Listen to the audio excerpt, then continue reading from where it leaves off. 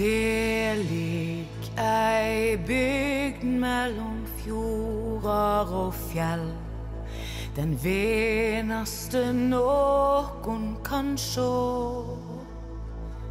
Den fagre bygdi med tenner så vel, og henne held med utå. Med kjenner hver grend. Og folket som bor der i dal og på strend. For oss ligg den bygd i strålende ljos. For det er vår heimbygd ost.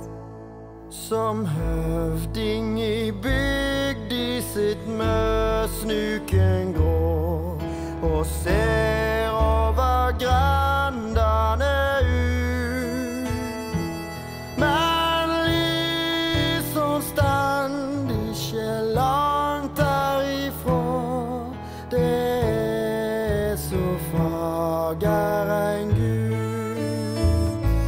Storsvinningen, regnfjell og gråfjell så traust. Den skume og svarte og skåda mot øst. Men store Vardø ser ut i vest som vaktmann mot ufredsgjest.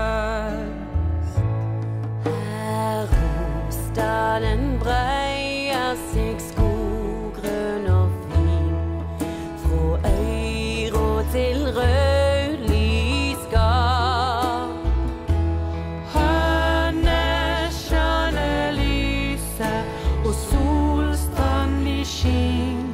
Med grender og gard etter gard. Her Heglandsdalen gjøymer seg bort under livet.